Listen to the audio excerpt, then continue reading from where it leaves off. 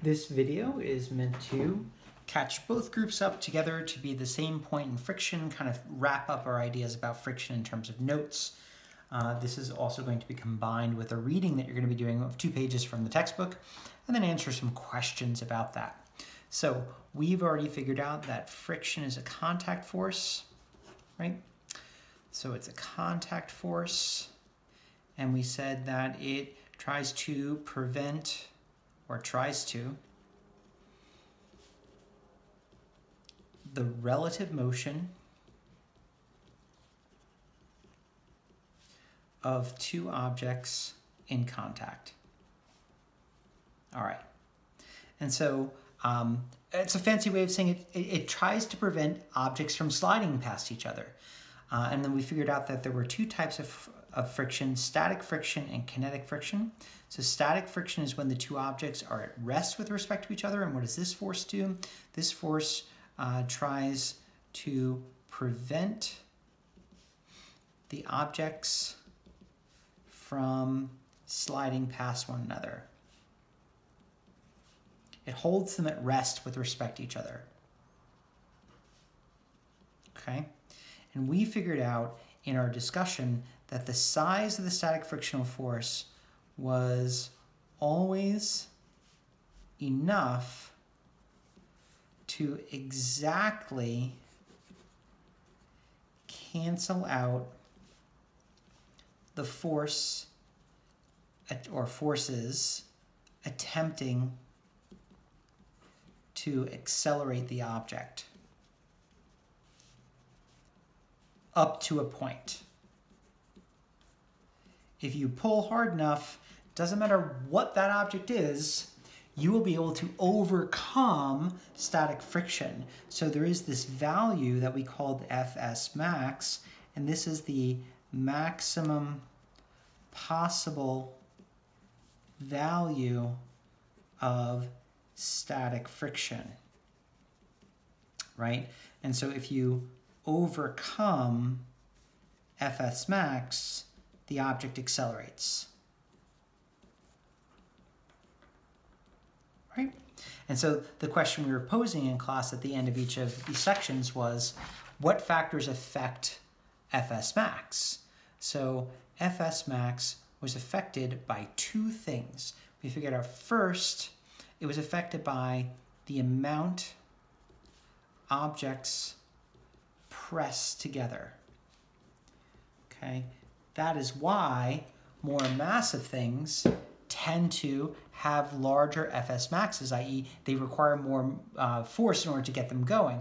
It's not because they have more mass or weight per se, it's because that, that mass or weight causes the, the object to press into the surface a lot. I can actually have the same FS max with this smaller rock. If I press it into the surface, it becomes just as hard to move as this object just sitting here uh, without me pressing into it, right? So weight is a factor, but it isn't the thing. We said that this is quantified through the normal force, which is why I introduced the force, because the amount that objects press together is the same thing as the normal force. And the second factor is, well, we talked about different surfaces or places where um, uh, it was easy to slip or not slip.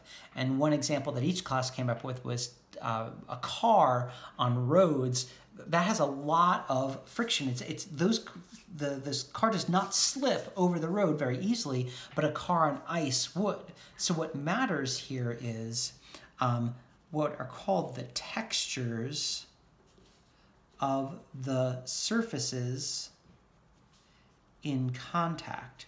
Okay, right? For example, this pumice stone is fairly rough, right? And so that's hard to move past my hand. That pumice stone, it's actually easier on this wood surface because the wood is smooth. So it's not just the pumice stone that matters, it's actually the two surfaces together. So skin and pumice would, um, you know, something about it would have a large value here. And what we need to do is put a value to something that talks about the textures of the surfaces in contact. And I'm going to introduce something that's called the coefficient of static friction. It's a number that we put to like how much friction does do those textures have. And the symbol for the coefficient of static friction is our friend, the Greek letter m, mu, uh, and then we use a subscript of s. So mu sub s is the way you say it, right? And so if you have very rough surfaces in contact, mu would be really high, right? If you have uh, very smooth surfaces, like uh, this piece of um, uh, obsidian, actually, that I got from Iceland, which is pretty cool, right? That has a fairly you know, generally with most surfaces, a fairly low mu. Right here on my kitchen table, that is a very low mu. Those slide across each other really easily. But if I put my rock on my piece of pumice here, that does not slide easily. So rock on pumice would have a high mu. So tires on a dry road would have a very high mu, and dry uh, tires on a um, um, on a wet road or an icy road would have a low mu. So things with low mu would mean uh, they are slippery surfaces in contact. And high mu is generally rough surfaces or sticky surfaces because it's not just about roughness. Uh, sometimes that adhesion, it also is a, a, a, thing as well, right? And once again, it's about both surfaces, right? My example here was the pumice on the table had a low mu. It was quite easy to slide that across, but the pumice on the rock had a high mu. So it's about combinations of surfaces, and that's what's important here. Combo of surfaces, okay? And that actually gets put together in an equation that we're never actually gonna use this equation to calculate this, but just so you can see mu sub, uh, rather that the maximum value of static friction is mu sub s times fn. Meaning the higher mu is, the higher this, this barrier is to get something to moving. And the more the surfaces are pressed together, the higher this barrier is as well, right? So notice this is Fs max. That's not actually the size of friction. That's just saying how big it could be. So for example, right, if I know Fs max between two surfaces is 100 newtons, right? So if Fs max is 100 newtons, I have this box, and I push with a 60 newton force, because my applied force is less than Fs max, it doesn't move. So what does that mean static friction is? Well, that means that static friction has to be exactly equal to that to cancel it out. So Fs is equal to 60 newtons. So this is not the value of the frictional force, it's just like the limiting object, right? Uh, as an analogy, if uh, you have $100 in your pocket, that's the maximum amount you can spend. If you uh, see something that's worth $5, you don't pay all $100, you only pay the $5. That's how static friction functions, right? And so that's static friction. So we can increase static friction if we want by pushing things together. We can decrease by maybe like pulling them apart a bit or by changing the textures of the surfaces in contact, uh, making them smoother, less sticky. Sometimes people use things like uh, oils or lubricants, right? Because what those do is actually change the coefficient of static friction between two surfaces. Now, kinetic friction which we'll call really sliding friction. The only reason we don't really call it, I, I introduced it as kinetic friction, is because its symbol is Fk. Um, I can't use Fs because we're using Fs for static friction. That's why I want to use both names. So we figured out a couple of things static, uh, about kinetic friction, that it occurs as two objects slide past each other,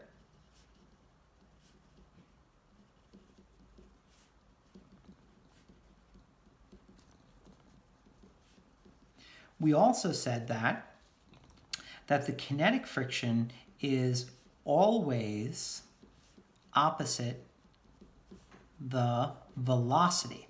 Not opposite forces, it's opposite velocity.